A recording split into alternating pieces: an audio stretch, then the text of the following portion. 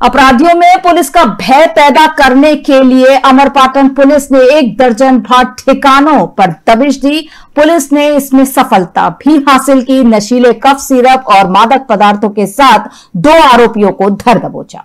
Police मुख्यालय भोपाल के द्वारा चलाए जा रहे नशे के विरुद्ध अभियान के तहत जिला पुलिस अधीक्षक सुधीर अग्रवाल के निर्देश पर अमरपाटन थाना प्रभारी केपी त्रिपाठी ने दलबल के साथ अवैध कफ सिरप का व्यापार करने वाले एक दर्जन ठिकानों पर दबिश दी। इस दौरान कैलाश शर्मा को 104 शीशी नशीले कफ सिरप और मोहम्मद जलील को 200 ग्राम गांजे के साथ पकड़ा गया।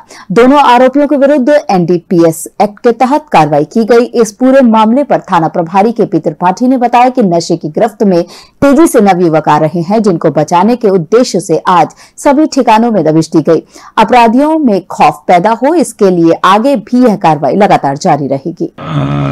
एक्चुअली में क्या है कि ये जानकारी मिली कि कुछ जगह जो है गांजा कोरेक्स की बिक्री कर रहे हैं। उसी आधार पे आज छापामारी कार्रवाई की गई थी, जिसमें कैलाश शर्मा पिता राम अवतार शर्मा निवासी पुरानी बस्ती के यहाँ छापामारी कार्रवाई जब की गई तो इनके यहाँ 104 सीसी ऑन रेक्स प्रतिबंधित सिरप पाया गया है, जो जब्ती कार्रवाई इनके खिलाफ की गई।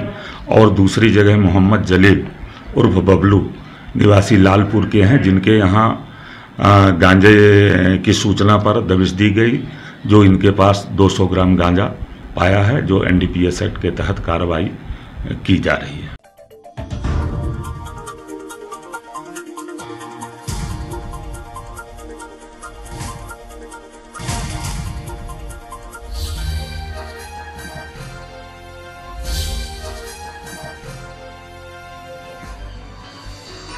आप देख रहे हैं दखल न्यूज़।